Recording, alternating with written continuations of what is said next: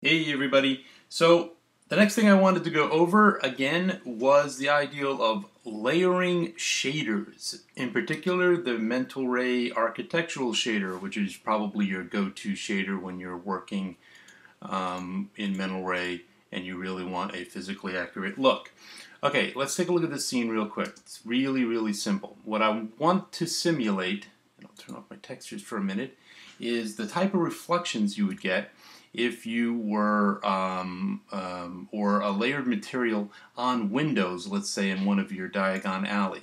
Let's say you were going to be putting a logo on a window. How we might go about doing something like that. Alrighty, so what I have here is uh, just a background image and I built out a really small, really simple window frame, nothing particularly exciting about that. And all I did was grab the polygons that represent the windows and extracted them. Okay, so that should be pretty straightforward by now. If it isn't, uh, that would be very, very sad. Uh, but at this point, all I have on them is a simple checkered texture. It's actually the same texture on each one of these windows. Um, what I'd like to do is show you a couple of the considerations that you could have. Um, so let's go back to the dual view so I could open up the Hypershade. Um, in here, here is the Lambert with that we're looking at. Nothing particularly exciting about that. Um, it's just a Lambert texture I'm using in the background. Here I have a Mental Ray uh, Material X shader. It's the default for uh, thin glass. So if I went to glass thin and just hit that, you would get the exact same thing. What I'm going to do temporarily is I'm going to stick it on each one of these windows so you can get a look at it. Okay, just like this. All right. And um, let's bring up the render window and take a peek at that. Nothing particularly exciting again. It's got a mild blue hint. You can see that from the refraction over here. Um, and we pick up a mild blue hint in the refraction. Okay, so let's just remove everything from before and save that get this out of our way. What I'd like to do on this last window is I'd like to put a butcher's logo. I downloaded an image from the internet and I just saved it with an alpha. It didn't originally have an alpha. So what I did was I went into Photoshop and let's see if it's still here. The Atomic Butcher, okay? And what I did was, it was a JPEG file, so I just um, duplicated one of the channels, and I gave it an alpha. All right, so nothing particularly exciting about that either. All right, so let me just close that out. And we don't need to save that. So uh, what I'll do is I'm going to bring down my MIA Material X, which is my glass. Matter of fact, let's do that. Let's call it glass. Okay, I'm going to create a second one, which is going to be Material X and I am going to call this logo. Logo, alrighty. Into this, I am going to pump my logo. So I'm going to go File, find my file, and the Atomic Butcher, that was the JPEG, this is the TGA that I created, and I'll pump that into there. So here's my logo. And if we go back out for one second, we can see that uh, it's in the color channel. And if I take this material now and I dump it onto this last window, um, we get a result, but probably not the result you would want.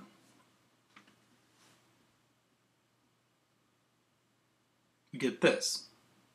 The reason you get this, and one of the things we noticed when we did the texturing that apartment window scene was that for Maya materials, a Maya material would pick up that this had an alpha channel and pipe the alpha into the transparency. Um, the Mental Ray texture is not quite as bright as that, so you're going to have to do that manually. So let me save that for a second and hide it. And it's in a strange place. Here is the MIA material. So what we're going to do is we're going to scroll down and we are going to go under Advanced. Hide the bump. We don't need bump. But under the Advanced tab, we're going to see Cutout Opacity down here. And the cutout opacity is where we're going to want to put our file. Okay, so what I'm going to do is I'm going to grab the exact same file, and I'm going to drag it right here into the cutout opacity. All right, and now we'll bring this up, and we'll look at that render again.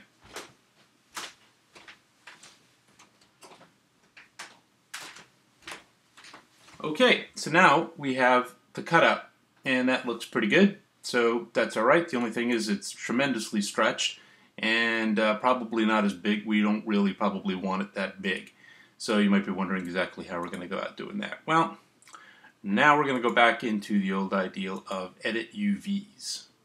What I did was I, when I created these, each one of these I created, I basically um, selected its polygons and I unitized it so it takes up the entire space, which is the case for this window, which is probably not the case that I want. So what I'm going to do is go into UVs, grab this entire thing, let's grab the smoothie and unfold this into the shape of the actual window. Well, now we're getting some tiling in here and it's not quite big enough and that's probably not what I want either. So what I'm going to do is I'm going to go in here and scale this. So it sits in the window approximately where I want it. Something like that, let's say. It looks about right. Make sure it's going to be round over here. And you're seeing this terrible tiling, but that's okay. We can take care of the tiling issue. Um, window should be about the right size, so I'm done in the editor. What I will do now is I'm going to go into the file texture, going to go into its placement node, and I'm going to shut off its wrapping. By doing that, it just places it here in the center. Okay, so let's take a peek at this.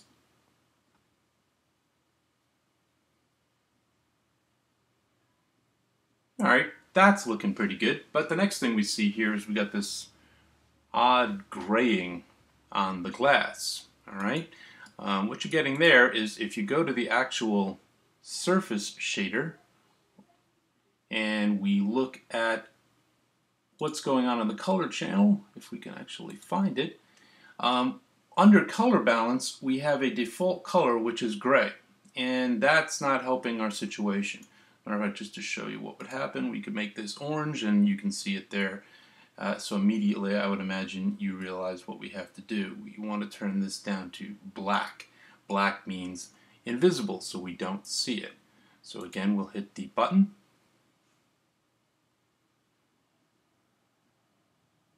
And now we're looking pretty good. So our atomic butcher is showing up in the window.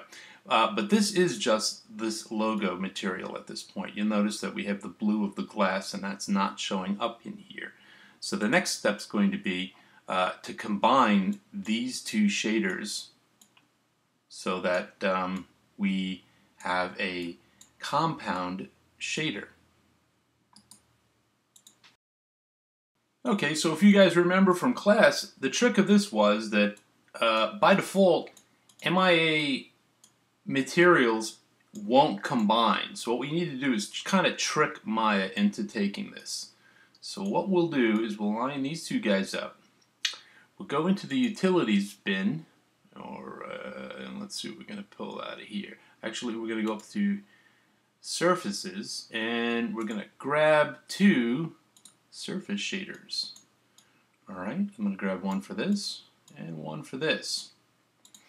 So I'm going to take the MIA glass and I'm going to pipe it into the out color and this will open this up and we got the glass on this side you can see you got the surface shader on this side so we'll scroll down on the glass until we find the result which is what the glass looks like and we're going to pipe that into the out color. All right. Over here we have the logo texture and this surface shader. So we'll just grab this logo and we'll pipe it right into the out color. And again, we'll scroll down until we find the result. We're going to pipe that into the out color. Okay. I noticed today this gives you this insane looking sort of a thing, but believe me, it's okay. Next, we're going to go into other textures, grab a nice layered texture. All right. And the beauty of this setup is this is actually going to be the glass. And I'll get rid of the default one that's set in there. And this will be the logo. Okay, so let me just put the glass behind the logo because that'll make more sense. And now this looks insane, but it's actually quite right. And uh, all we need now is one more surface shader. So we'll go back up to Maya and we'll grab a surface shader, which is going to be right here. And we'll take this last layer texture and we'll pipe it into the out color. All right. So let's just grab all of this for a second and graph this so you can see it. So here's our actual shader. This is going to be our glass with the logo on it. Okay. So why don't we take this surface shader and dump it right over there, put it on that, and we will open our render window, save that render, and we'll hit the button.